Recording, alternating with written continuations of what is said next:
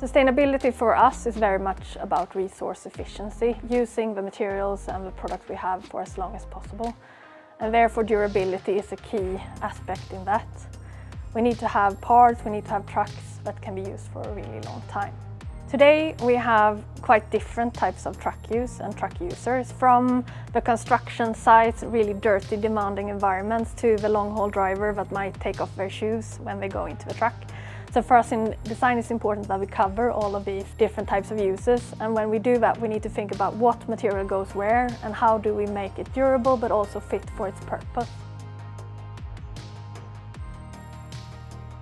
Today we have examples of both recycled plastics and recycled metal in our trucks. But for the future we need to expand that a lot more and use many different types of recycled and reused materials. As a designer, I get a lot of inspiration from working directly with our suppliers. Currently there's a lot of focus on sustainability and there's so many interesting materials coming up.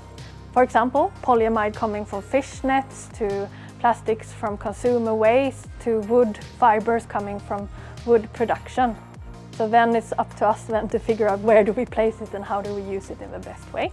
I believe that circular design and circular design solution will be at the core of what we do. Designing within a resource efficient way, designing to extend the life of our products influences everything.